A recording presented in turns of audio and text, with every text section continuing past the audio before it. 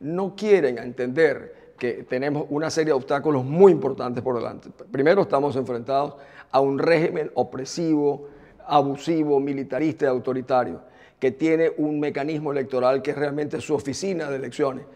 Y en vez de decirle a los, a los jóvenes, mire, estos problemas están allí, tenemos que superarlos, prefieren no hablar de ellos. Yo quiero hablar de ellos porque si no nos preparamos no vamos a poder rescatar los valores, no vamos a poder rescatar el país.